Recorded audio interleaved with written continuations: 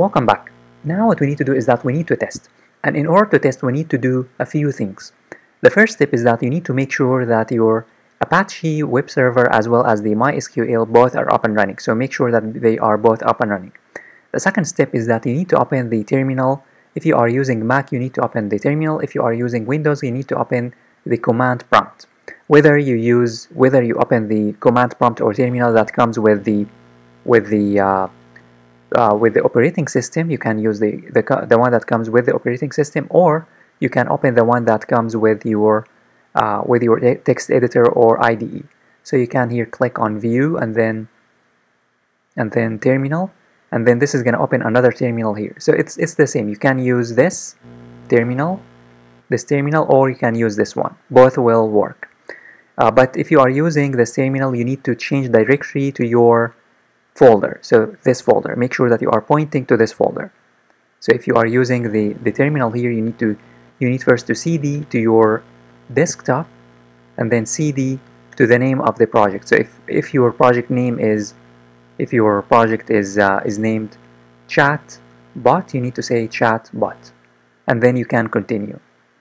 Uh, similarly, if you are using Windows, you need to open the command prompt. You need to open the command prompt and uh, you can follow along. It's the same. There is nothing different. Uh, there is no difference between uh, Windows and Mac. They are the same in terms of the commands that I'm going to type here. Now you need to type PHP and then minus capital S and then local host and then colon 8000 and then hit enter. This is gonna run a local server. As you can see, this is the local server. It says here started.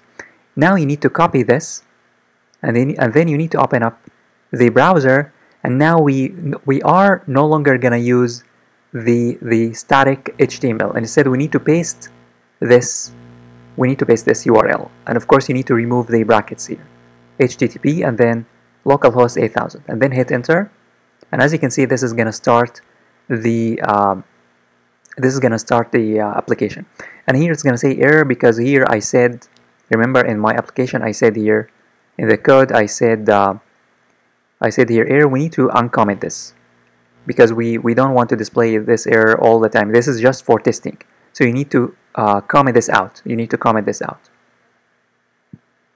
Now let me refresh and test. So I'm gonna now refresh one more time and then I'm gonna say here remember the the messages that we have I have two messages. I have hi and what's your name? So let me say hi. If I say hi and, and, and click on send as you can see I'm gonna get hello because the response for hi is hello. Let me say what's your name. So I'm gonna say here what's your name? And then question mark. And then I'm gonna hit it um, and, and, then I'm gonna click on send uh, message. And as you can see I'm gonna get I am your assistant. So it's working. However if I say if I type a message that doesn't exist in the database for example um, who are you? And then if I click on send as you can see what I'm gonna get is that I'm gonna get what. So what will be returned here from from this from this message? What? From this array. Because what will be will be returned in case in case the execution was not successful in case we couldn't find a response.